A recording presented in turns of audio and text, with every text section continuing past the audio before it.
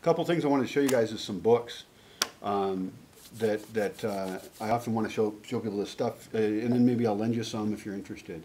Um, you're interested in the sauna? This is the book, uh, The Sauna by Rob Roy, and we essentially use this exact design for the sauna, except that he uses concrete. It's called cordwood, and he uses concrete, and his we use cob. We use dirt. Um, but that might be interesting browse. Um, we're not going to build another sauna anytime soon, but uh, that's okay. Um, architecture, I think here we can make almost everything. An example of a lot of traditional things. Uh, there's a book called Built by Hand, Vernacular Buildings Around the World. And it's very inspiring. You look through it and just all different cultures and how they use materials. And you start to realize how many buildings out there are made of natural materials. Um, so we've got dirt and wood and rocks, and we can build stuff. This one's very similar. This is the sequel to the book uh, Shelter, which was a 60s kind of book, I think, 60s, 70s. This one, just like the other one, has inspiring examples. So this one's in Mexico here. Oh, wow. Done with ferro cement. gorgeous. Yeah, lightweight concrete, Wow. wire mesh and concrete. Um, This is a good book to browse. Hand sculpted house. You can tell it's kind of, I mean, I should buy another one. This has had a hard life. It's been well used. Yeah, but at least it hasn't been lonely. Yeah. So, this talks about what we really care about, is building with dirt. Um, dirt's non-toxic, it's free, the dirt here is very good for building. And, uh, and so this is how to build a cob cottage, a cob house. Um, you have some experience with such things, Architecture somewhat, yeah. Yeah. Traditional kind of methods, I guess they're yeah. considered traditional, American traditional. Well, we don't, we don't totally know what we're doing here, we, we're very open to experimenting. And I wanna build more huts like, uh, like the cob huts, and have, I want a dozen more of them. I wanna put some in a circle with a little fire in the middle, and, you know, we can start to play, and I wanna make them prettier. So we have magic spots for people to stay. Oh, great. Hobbit house, you know. Yeah, it's cool. Um, let's see, a couple other books that might be of interest. So another book on building is Earth Bag Building. Uh, this is putting dirt in, in bags. We could use costals, or we can also find the source material that they use to make costals. Costals are kind of like gunny sack. Dog food comes in them. And they just circle these around and make beautiful shapes. We don't know how to do this yet, but it is done in Mexico. And um, so this is high on the list of priorities. Yeah, that sounds like a cool idea. to try. Yeah, I'm ready to try that now. Okay. And the advantage of this is that with this, you don't mix water into the dirt. Because I sometimes wonder as we're making cob, why are we mixing water into the dirt and then we have to dry the building out? And also in this climate, sometimes my walls start to mold before it dries out. And so this seems pretty smart. It's a book on water storage. Uh, We're off the water grid here, and so this one talks about different ways to store water. There is no perfect way, but it compares them all. Well, the perfect ways are too expensive, which I guess makes them imperfect, like stainless steel and stuff like that. But the goal is to capture all of the water that we would need for the entire year during the rainy season. We've got a four-month rainy season, that's, Yeah. tough. And this is, of course, why uh, we'll do things like use the sauna to keep clean, because we really want to conserve every single drop. I mean, Maybe that sounds a little extreme, but, I mean, if we can use less in washing dishes, we should do it. I mean, anything we can save on, so. Um, there's a book called Gaia's Garden, which I need to go find. I must have, I put it somewhere. That's the best overview on permaculture that I have, and so I would recommend that. Um, it's, it's accessible, and, and it's about doing permaculture on a small scale. This is kind of the Bible of uh, permaculture, Permaculture Designer's Manual. This one will hurt your head. Um, it's, it's fairly dense. Oh, wow, Wow. yeah, there's a lot in there. Yeah, and um, this is the kind of stuff we're, we're generally dealing with here. I don't agree with all of it, but a lot of it, you know, depends on your situation and your goals. Um, permaculture is not a prescribed way to do things. It's a it's a way to design and think about things. So it doesn't always say what you should do exactly, but certainly a lot of solutions in here are absolutely awesome. Um, a more specific couple of books are these two. Edible Forest Gardens. Now, this is very much like that, except this is really specific to what we're doing here. Ecological design and practice for temperate climate permaculture. Once again, very dense, and it will hurt your head. But this is the closest thing uh, I have to the Bible for what I want to do here.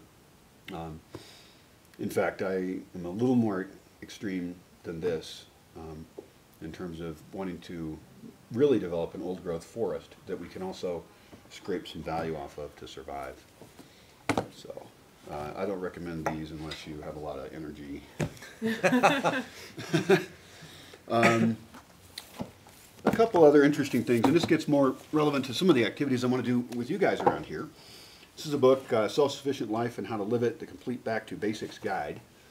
And it's just an overview of a lot of different systems that farms have, and um, it's got sections on crafts and making beer and vegetables and canning and making bread. And so it's not an in-depth resource, but it's a great overview. It gives you ideas. I mean, here's building gates. Yeah.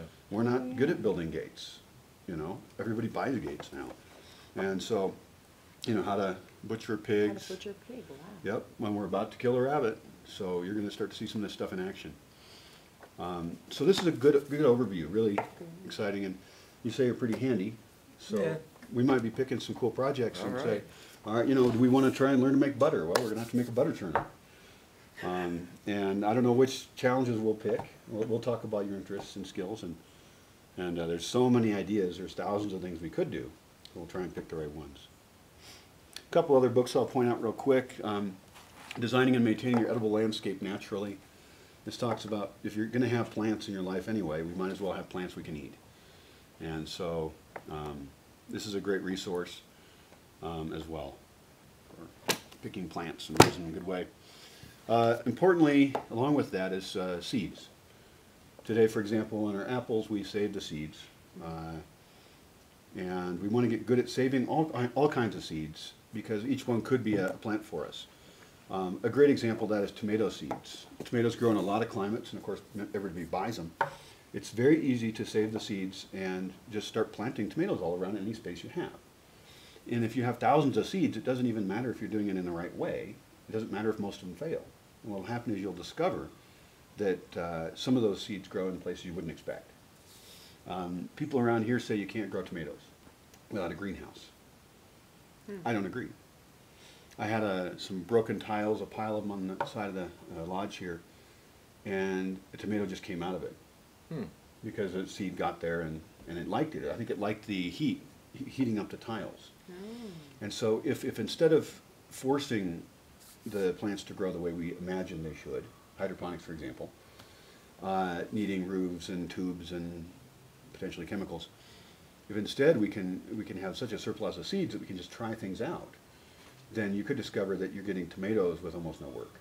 So, um, odd thing about tomatoes is you actually have to let the seeds rot a little bit. I don't know if you know that. You- you- No, I never, I haven't heard that. it was- It was really weird when I first was planting tomatoes. I was Just like, tomatoes? just well, tomatoes and a few other A plants. few other, What happens is there's a little um, kind of stuff around the seed, Mm-hmm. and that has to ferment off. And so you actually set it in, a, in a glass and you let it kind of rot for a few days. Then, if you want, you can either dry the seed or you can plant it. So, um, so today I think we had a tomato and I didn't save the seeds. That's Oh, a that's true. failure, horrible tragedy. Oh, no. Um, no huge deal. If we get anything close to, to in a successful pattern, then we'll have surpluses. And, uh, uh, couple other books. Uh, here's a book on eco village living. Um, the Bosque is not really an eco village yet. It is a potential eco village. Uh, there's not a lot of people. Uh, as I open it up again, there will be people again. It'll be kind of a temporary village. And that becomes sort of a cultural petri dish. You're going to end up with your own experience here, and you're co-creating it um, on the framework that, that I've defined as far as some of the culture and on the physical space. But then you'll bring in your own ways of doing things and find really, hopefully fulfilling ways of living. This book is Eco Village Living, Restoring the Earth and Her People. A lot of nice essays about different ones. It's a very famous one here. Um, I kind of like the, uh, in the, in the middle here, in the, in the beginning, there's a circle of some issues that you might think about it in, when you're creating a community, when you're creating really a new human society. Um, and social, economic, cultural, spiritual, ecological. And so this kind of gives you things you can think about. And so we can wonder that even in our own interactions, even if we have, you know, just five or six people here, we can wonder, well, how are we doing resolution conflict? Are we gossiping? Are we, uh, how does each resource we have get used? How are we entertaining ourselves? And what's the impact of that? And I don't have the answers for that stuff, and I think these people don't either, but, but they're trying. So, not a bad book. And then this one's kind of outdated because it's all online now. This is a directory of communities um, around the world. And I've gone through and marked things I liked about different communities that I thought uh, resonated with me or whatever. And um, and now all this is online. So there's ic.org and icdb.org. And uh, you can look up communities near you and see the different ways they do things. There's a huge variety. Some of them are really structured, some of them are more, you know, do whatever the hell you want. Uh, some of them have businesses, some of them are for retired people, so they vary widely. Um, cool. Cool stuff. All right. Yeah, and I will try and